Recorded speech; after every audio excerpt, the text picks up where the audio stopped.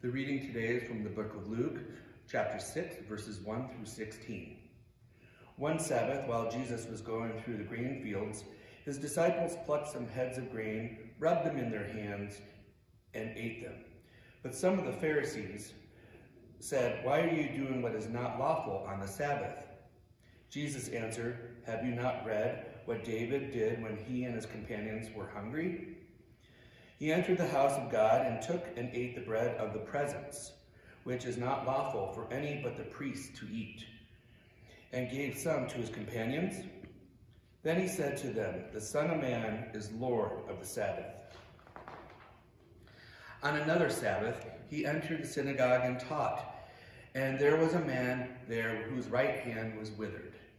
The scribes and the Pharisees watched to see whether he would cure on a Sabbath so that they might find an accusation against him.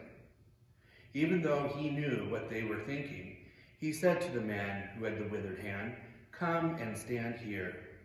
He got up and stood there.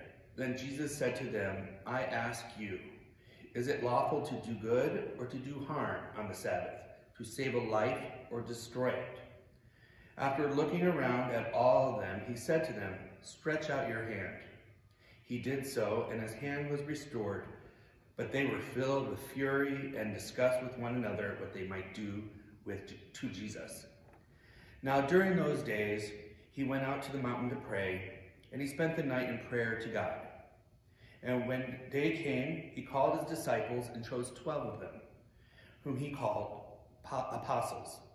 Simon, whom he named Peter, and his brother Andrew and James, and John and Philip and Bartholomew, and Matthew and Thomas and James, son of Alphaeus, and Simon, who was called the Zealot, and Judas, son of James, and Judas Iscariot, who became a traitor. There ends the reading.